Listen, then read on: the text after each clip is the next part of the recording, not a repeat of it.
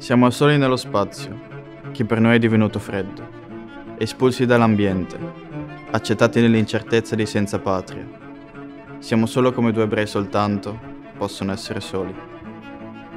La storia ci insegna che gli imperi si conquistano con le armi, ma si tengono col prestigio. E per il prestigio occorre una chiara, severa coscienza razziale che stabilisca non soltanto delle differenze, ma delle superiorità nettissime. Il Giornale d'Italia, il 14 luglio 1938, pubblicava il Manifesto della razza. Questo manifesto sanciva la superiorità della razza italica rispetto a quella ebrea, segnando uno dei periodi più bui dell'umanità. La rivoluzione deve ormai incidere sul costume degli italiani, che devono imparare ad essere meno simpatici, per diventare più duri, implacabili e odiosi, cioè padroni. Gli ebrei, prima della promulgazione delle leggi razziali, erano integrati nella popolazione italiana, non erano considerati diversi.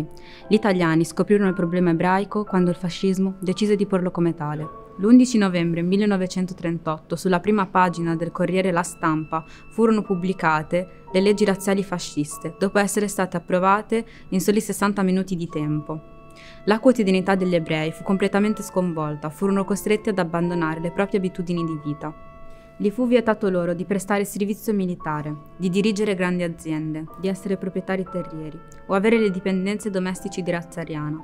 Anche la scuola subì dei cambiamenti, studenti e insegnanti ne furono completamente esclusi. Inoltre, i dipendenti statali furono costretti ad abbandonare le loro cariche, tra questi Mario Finzi. Mario Finzi nacque a Bologna nel 1913 da una famiglia piccolo borghese ebrea. Il padre insegnava lettere al liceo Minghetti. Mario è un ragazzo prodigio, tant'è che all'età di 20 anni si laureò in giurisprudenza all'Università di Bologna, dopo aver conseguito il diploma musicale a soli 17 anni. Sin da giovane Finzi aveva coltivato la passione per il pianoforte, nonostante il padre volesse che il figlio diventasse magistrato. Nel 1933 raggiunge l'apice della sua carriera concertistica con un concerto a Brescia, in cui suonò Armonie della sera di Liszt e Studio Desis minori di Scriabin. Dopo il concerto a Brescia venne invitato a Milano per un importante concerto che l'avrebbe consacrato nel mondo della musica. Tuttavia, dopo una forte opposizione del padre, egli declinò l'invito, mettendo fine alla sua carriera concertistica. La vita di Mario Finzi, come quella di tanti altri ebrei, fu completamente sconvolta dopo la promulgazione delle leggi razziali, che posero fine alla sua professione di uditore giudiziario e determinarono la fine di molte altre carriere. Dopo che la scuola cacciò studenti insegnanti, la comunità ebraica decise di organizzare un sistema scolastico efficiente per garantire la continuità degli studi ai ragazzi. Mario Finzi comincerà ad insegnare proprio in una di queste organizzazioni, la Scolina Bolognese, un palazzetto di ridotte dimensioni, con pochi banchi e tanti ragazzi, che ignari del destino che li sarebbe aspettato, sorridevano, riempiendo quelle aule apparentemente vuote. Nel 1939 Mario Finzi ottenne un visto per Parigi, dove ebbe l'occasione di continuare la sua carriera artistica e concertistica. Il 25 agosto dello stesso anno ritornò in Italia per rinnovare il visto, dove rimase definitivamente bloccato a causa dello scoppio della Seconda Guerra Mondiale e alla successiva chiusura delle frontiere. La dichiarazione di guerra è già stata consegnata agli ambasciatori di Gran Bretagna e di Francia. Mario Finzi in questo periodo ebbe un'importante maturazione e riflessione, che lo portò ad impegnare anima e corpo nell'aiuto del prossimo. Il mezzo che gli permise di fare ciò fu la Delasem, la delegazione per l'assistenza agli ebrei immigrati. Finzi si distinse particolarmente per l'azione eroica svolta a Nonantola, nei pressi di Modena. Diede loro una casa e anche un supporto morale, facendo ciò che più gli piaceva, suonare il pianoforte. Egli, con le sue melodie, riuscì a distrarli per pochi attimi dal rumore della guerra. Questi ragazzi, e noi che li abbiamo aiutati, non siamo soli, non siamo più isolati. Ho parlato con i contadini che li hanno visti arrivare qui in Onantola, che ci hanno aiutati senza risorse, con una generosità e uno spirito di solidarietà che non ci saremmo mai aspettati.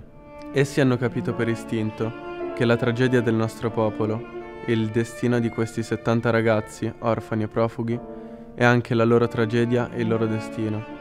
L'8 settembre 1943, dopo l'occupazione nazista, la Delasen fu costretta a diminuire il suo operato e passare alla clandestinità.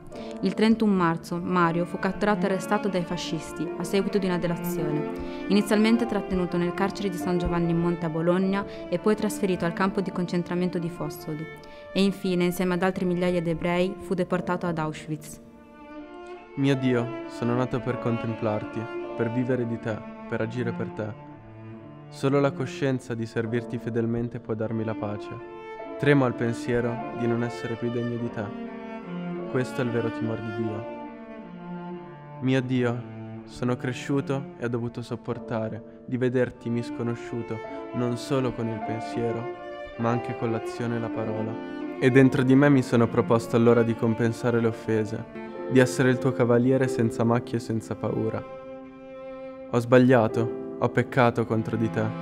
Non ho dato a te tutte le mie forze. Mi sono lasciato distrarre. Ti ho anch'io offeso. Mario Finzi, arrivato ad Auschwitz, fu uno dei pochi ad essere selezionato per i lavori, mentre gli altri furono mandati a morire nelle camere a gas. In base alla testimonianza di Elikim Cordoval, Mario era ancora vivo all'arrivo delle truppe sovietiche il 27 gennaio 1945. Ammalato gravemente, venne ricoverato in ospedale, dove da lì a poco morì. In memoria di Mario Finzi è stata collocata una pietra d'inciampo a Bologna, in via del Cestello 4. Oggi, 27 gennaio, giornata della memoria, è importante ricordare. Perché se comprendere è impossibile, conoscere è necessario. Perché ciò che è accaduto può ritornare. Le coscienze possono essere nuovamente sedotte ed oscurate, anche le nostre.